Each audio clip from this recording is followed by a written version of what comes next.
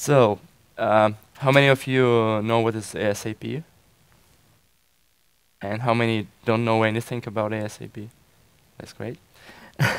so, uh, like I'm working in the ERP scan company, uh, which specialized on the ASAP security, and we do a lot of research in this area. We also have a, the product for analyzing this ASAP security from different areas.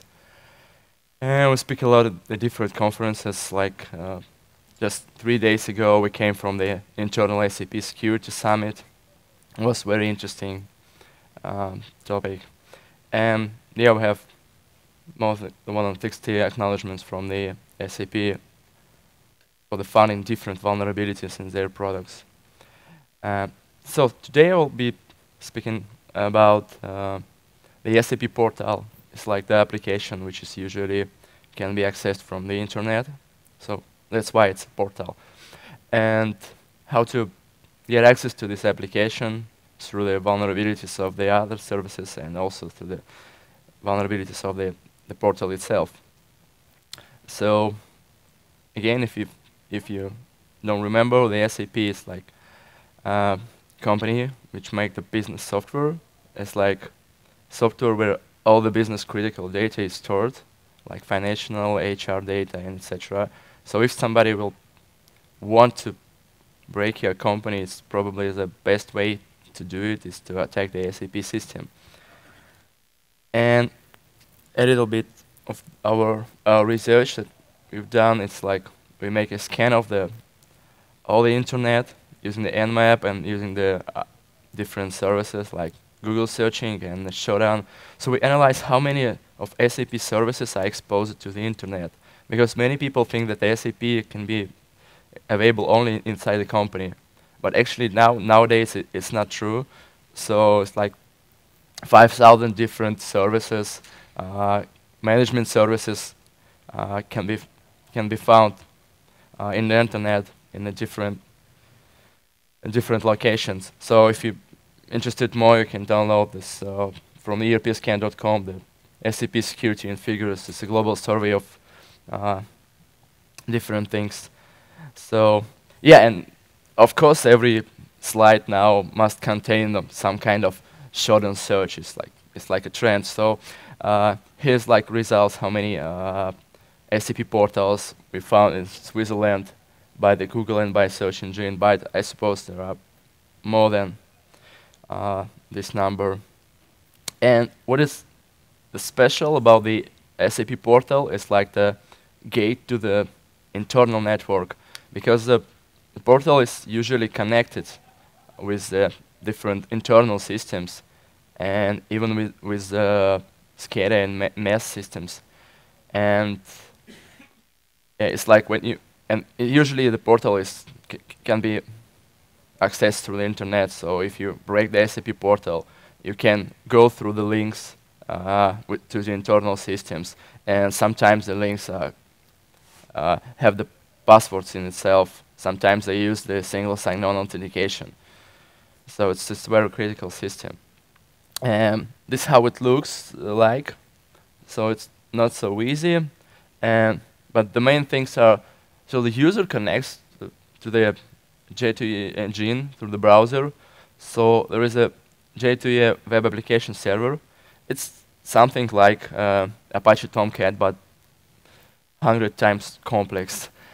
And, also the portal connects to the different uh, services in, uh, in internal network, like the SAP, the ERP systems, like databases, web applications. So it's kind of all the systems in inside the company.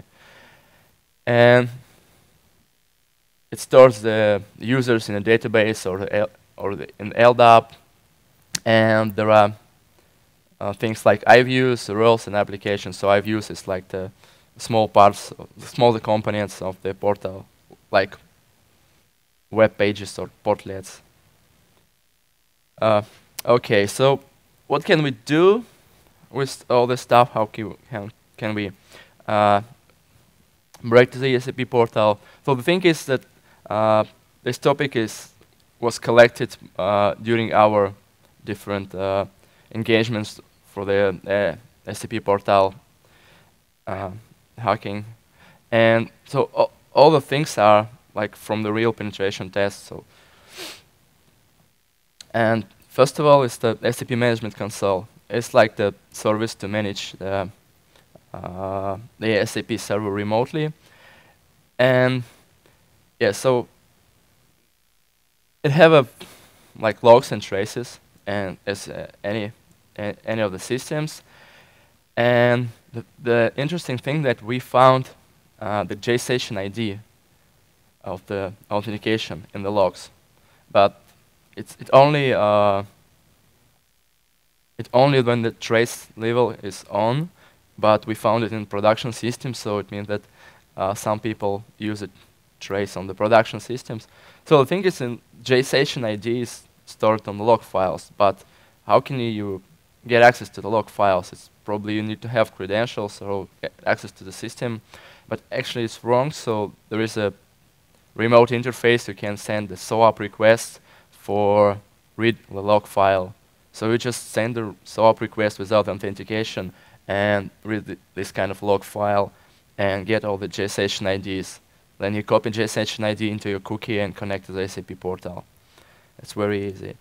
So it was the first option, but it mostly it works inside the company because MMC services it's not very often uh, can be accessed through the, through the internet. Now the next thing is uh, a very known issue. It's a single sign-on issue. Like uh, when when you implement the single sign-on, uh, the user is like connecting uh, to the authentication proxy and send some kind of credentials. Uh, then the act Active Directory or something like like that uh, check the authentication and send the the same uh, request, but it it only adds the header to the HTTP like uh, like SSO header and the name of the user, like SSO header administrator. So, and nothing else. So it means uh, that the attacker, uh, and that this header is known. So you just need to put the SSO header and the name of the user, like administrator. And the thing is, if the uh, enterprise portal uh, can be accessed directly, not, not through the authentication proxy, uh, so you can can add this header to your HTTP request, and you can be and you will be authenticated like administrator just by adding this simple header. And yeah, so you know you need to implement the the firewall. So you, if you use a single sign-on, you should the put the single sign-on first, and the firewall, and then the uh, the SAP portal. Okay, so next area is uh, J2E server itself. Um, there, some, there are some critical issues. Uh, we also were speaking about those issues uh, before, but anyway, they are very useful for breaking the SAP portal. Uh, so the access uh, to the J2E application is controlled with the WebXML and WebJ2E XML. So speaking about the WebXML, uh, there is a known vulnerability that we found and we were uh, presenting in the previous Black Hat.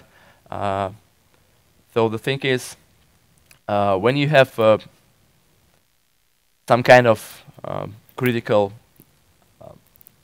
service, which is in the admin folder, and you have the restrictions listed here. And for example, for admin folder, only the get uh, the get method is uh, can be sent by the admi administrator role.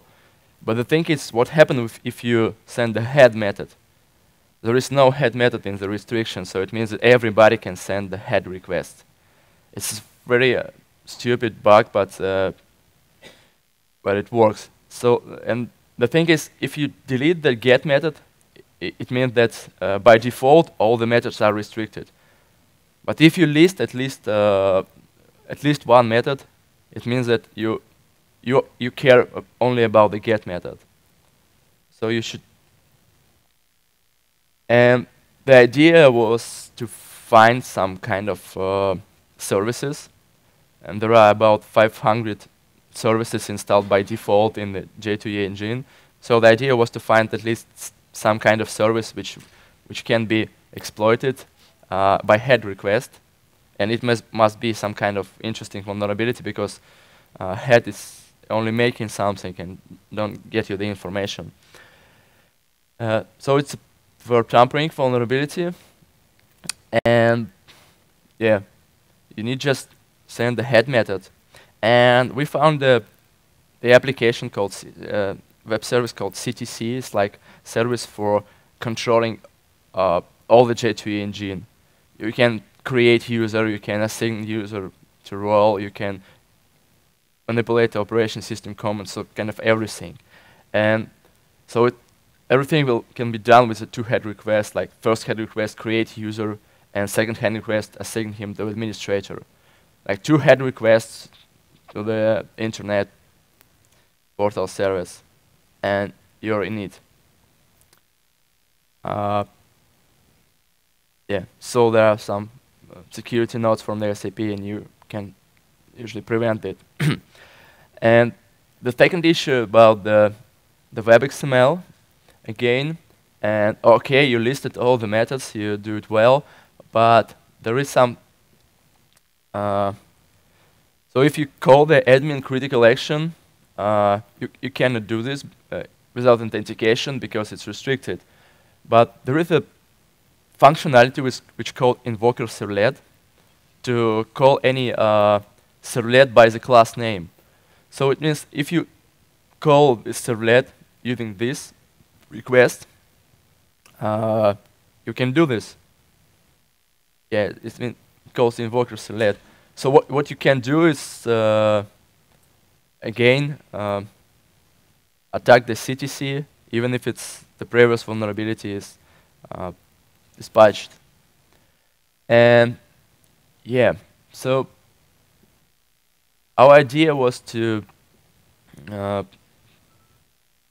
to think what what can we do uh, additionally. Uh, so if we break SAP portal, we have we wanted to make uh, some kind of uh, attacks into internal uh, network, and yeah, so we were looking on the on this operation system access so yeah, you have easily uh, make operation system access with a special command like execute command with a CMD line. So you can do pretty everything, and in uh, in Windows, the service is uh, running on the um, the SAP SAP service, which have the administrator rights. Uh, so yeah, so okay, so everything this, it will be like uh, how to break Portal without breaking Portal. but let's talk about the Portal itself. Uh, and what is the Portal? It's like uh, the collection of the different uh, objects, uh, like uh, iViews and users and roles and this kind of stuff.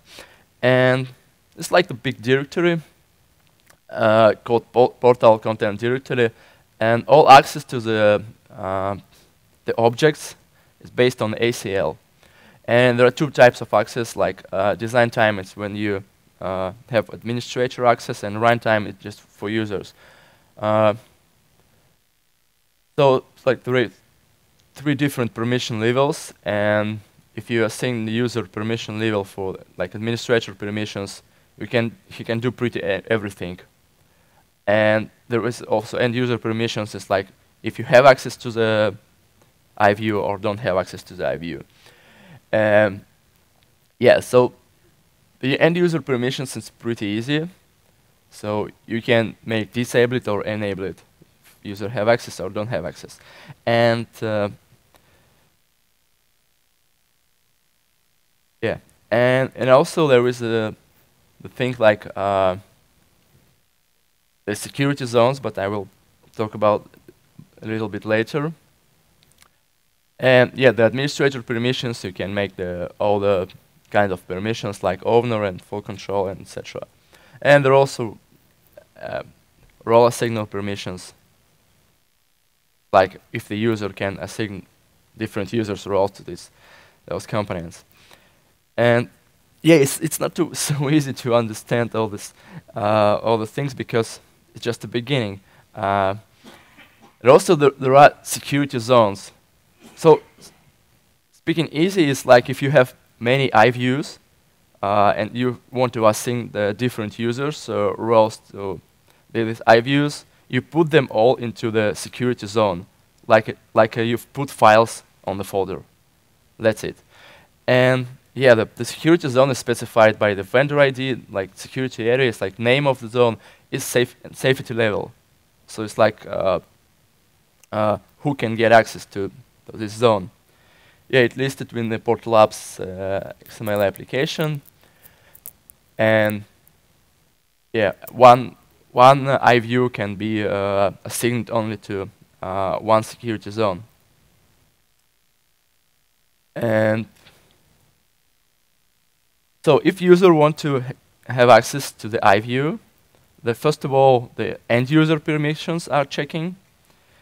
And if you add the security zone permissions, which, uh, which is additional, it's not the default. Uh, so the first of all, the end user permissions are checking, and then the security zone permissions are checking. But it looks like a, um, like secure. Uh, but the thing is, you can access to the uh, iViews uh, directly bypassing the uh, end user role permissions. So it means that the only security zones will be checked. And security zones it's, it's not, are not configured by, def uh, by default.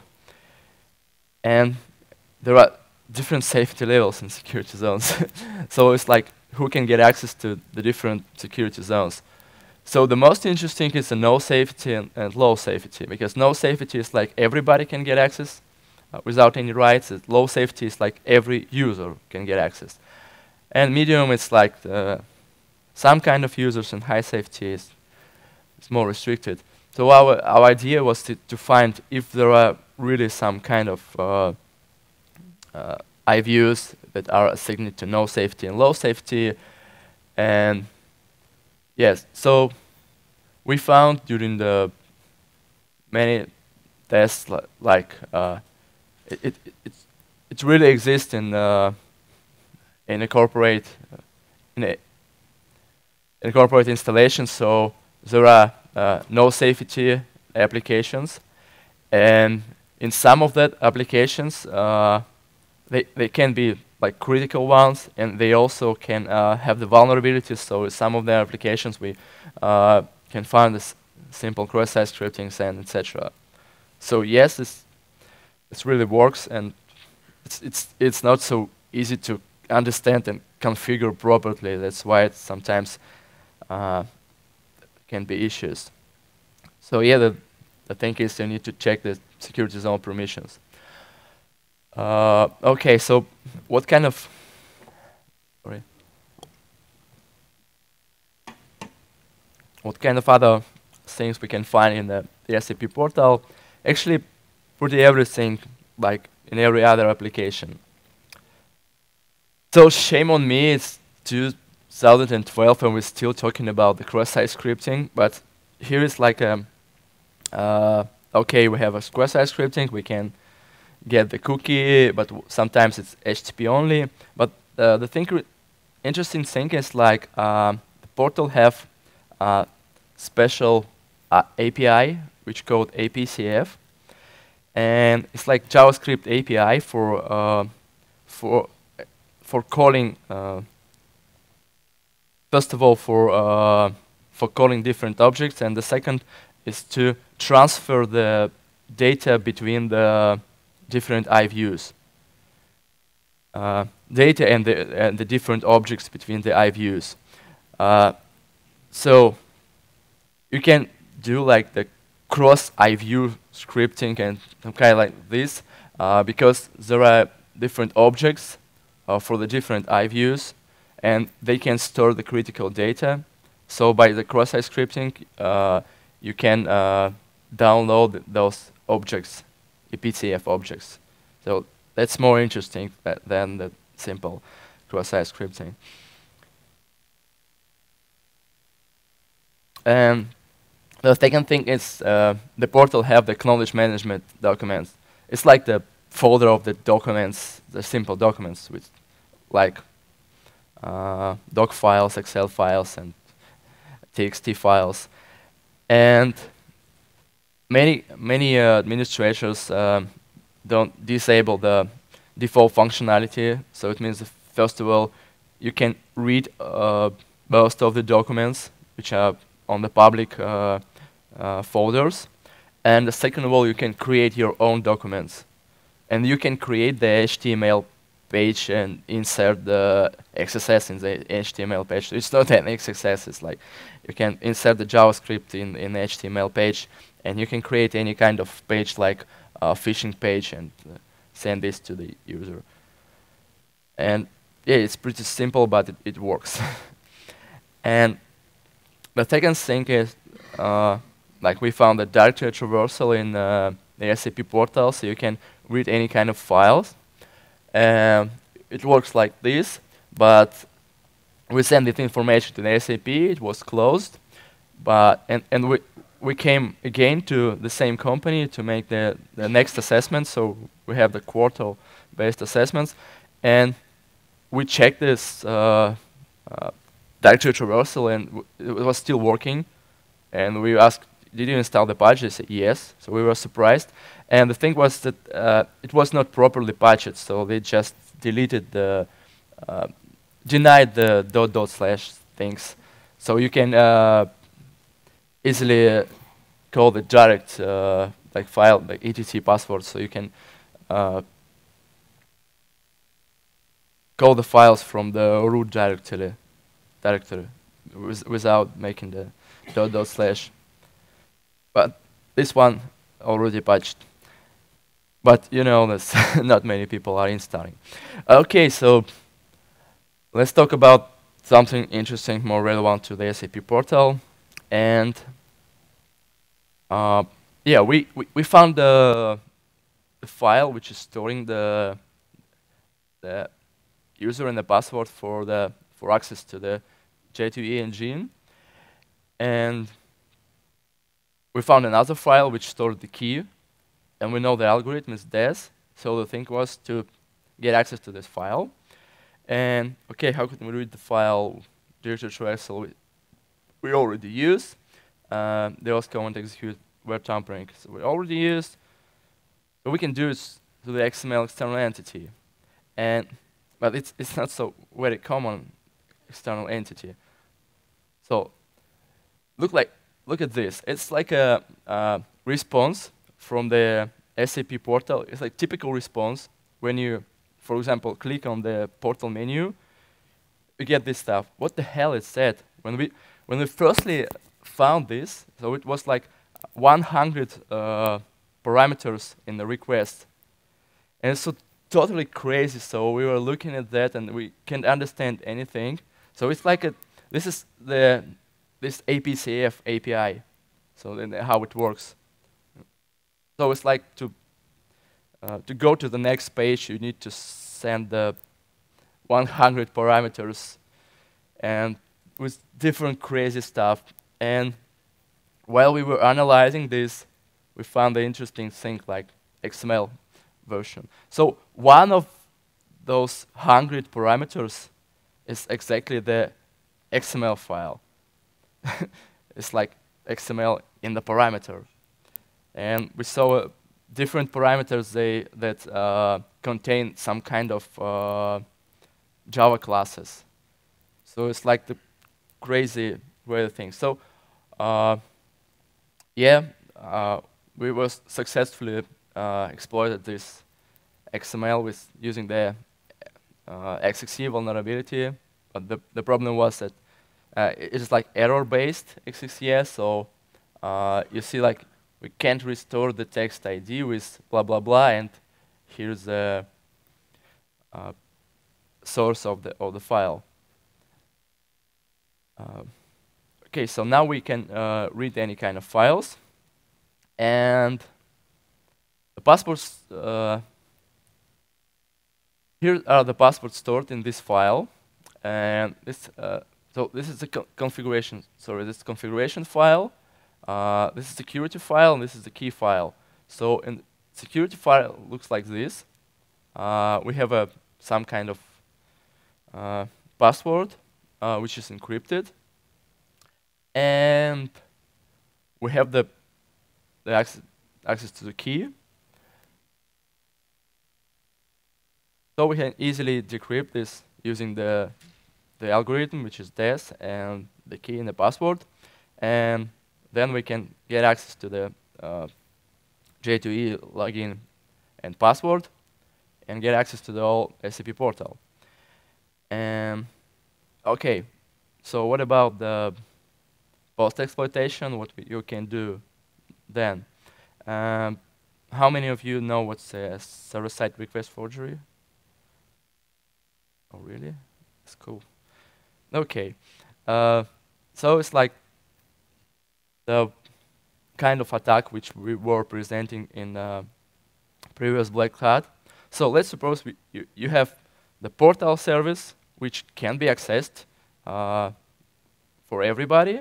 Then you have a firewall, and then you have some kind of ERP system or anything other, and you cannot access to this uh, system because it's under the firewall. But the portal can get access to this system because they need to somehow interact with each other. So the, the ser server-side request forgery is like the idea of this is to find some kind of service. Let's look here. So you need to find some kind of service here which will transmit your request to this service. Uh, maybe not all requests, maybe just part of request. And maybe with some modifications, but the idea is like this. And yeah, the the harder thing is to to find this service. And so details can be found in the our Black Hat talk, but speaking fastly, uh, you can use the XXE vulnerability, uh, where we in the XML external entity you can call the HTTP. Uh, you can make the HTTP request to the uh, other services, like to internal network. Uh, but what we found, there is a Gopher, him, this pretty old uh, protocol. And yes, so using this protocol, you can send any uh, application level request. So you construct, uh, so everything you put uh, after this slash, it's, it's like the, it's application you can construct the application level packet. Uh, because if you if you make the HTTP request, it's like it, it's automatically make the get and then uh, uh, the string that you, you you do. But if you use a Gopher, so all the you like to put AAA, and it, it sends the application level packet with AAA. So you can transmit uh, every uh, exploit through the Gopher protocol so and, and any application level. So you can exploit the different operation system vulnerabilities, the ACP vulnerabilities, and uh, yeah, you can even bypass different SAP restrictions. And what's more interesting, you can uh, exploit the local host vulnerabilities. So if you have the service on the local host, which is which can be accessed uh, remotely, you you can send the XML packet with uh, the Gopher uh, call to the internal IP, to the local host IP address and local host port. And usually the local host services are not so secured like uh, remote services. Um, yeah, and the next post exploitation is very funny. So there is a knowledge management, that there is a functionality to search in this knowledge management. And if you put some kind of password in this search, you can find a lot of interesting information. And there are documents containing the password, etc. Because you know the, the, the portal is like the, the the key for all your infrastructure. So everybody is it's it's for the for storing documents. So everybody is storing all the documents in SAP portal. So it means that you can find any kind of interesting thing, like uh, you can search for the confidential document, like like this, and yeah, if you find some kind of passwords, you can uh, uh, use the the SSRF with the Groover to connect to the, some kind of internal services. So you don't even need to uh, get access to the operation system of the portal, install some kind of shell, and uh, make a next step. You can do every kind of malicious activities through the portal without installing anything on it. So it's very stealthy uh, attack. Uh, so it's kind of unfinished, probably faster than it should be, but so yes, there's there's possi uh, it's possible to secure the SAP system, uh, and SAP is working on this area, and we're helping them. Uh, but but nowadays it's like the more on the customer side, so like customers should implement the patches, because what we see is like SAP becoming more and more secure, but uh, in the corporate implementations we still see the systems like were, were installed five years ago and with this stupid vulnerabilities. And one more thing, like everybody was asking the one question, uh, how many real attacks on SAP system do you see? This was the main question of everybody because yeah, we can speak about this uh, a lot, but uh, what is the real threat? And the thing is, uh, three days ago, there was an, there was news like the anonymous uh, cracked the great finally. So, yeah, usually I don't put this kind of slides on my presentation like many people do, but it's like the first uh, attack using the zero day in, S uh, in SAP system. So the anonymous say that they have the zero day for SAP, and they use it for they exploited the Greek finance ministry, and they exposed a lot of critical data using passwords and the documents. So this is the example of the, the first real attack on the, SAP system. So I don't know, and, and the thing is, they have this exploit, so they can use it on the other systems. And yes, now the answer is there are threats. And yeah, if you're interested in uh, more presentation about the SAP uh, system vulnerabilities and also other things, uh, we will be speaking in those presentations. And we also organize a conference which called Zero Nights, which will be in Russia in November. It's a pretty interesting conference with a lot of good uh, people in the hardcore uh, stuff. And yeah, thank everybody. If you have any questions, I will answer them.